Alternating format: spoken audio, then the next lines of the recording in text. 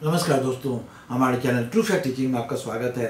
आज का हमारा विषय है होम्योपैथी के द्वारा पलकों में खुजली होना, यानी इचिंग आईलिड का इलाज। सबसे पहले हम आपसे अनुरोध करेंगे कि कृपया आप हमारे चैनल को लाइक करें शेयर करें सब्सक्राइब करें और बेल बटन द्वारा नहीं भूलें, जिससे कि हमारा अगला वीडियो आप अपने रूप से मिलता रहे।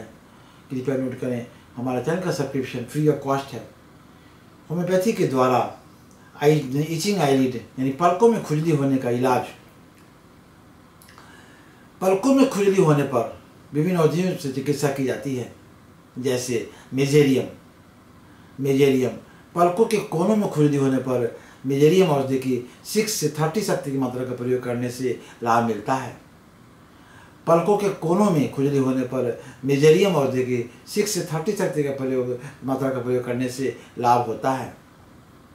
स्टेपिसैग्रिया स्टेपिसैग्रिया पलकों में खुजली होने पर उपचार करने के लिए स्टेपिसैग्रिया औषधि की थर्टी शक्ति की मात्रा का प्रयोग करना चाहिए। पाइलोकार्पस से देवरांडी पलकों की पेशियों के खुजली होने पर उसका उपचार करने के लिए पाइलोकार्पस औषधि की थ्री शक्ति की मात्रा का प्रयोग करने से लाभ मिलता है। हम अपने अगले वीडियो में किसी महत्वपूर्ण विषय पर महत्वपूर्ण जानकारियों के साथ आपके सामने प्रस्तुत होंगे। धन्यवाद।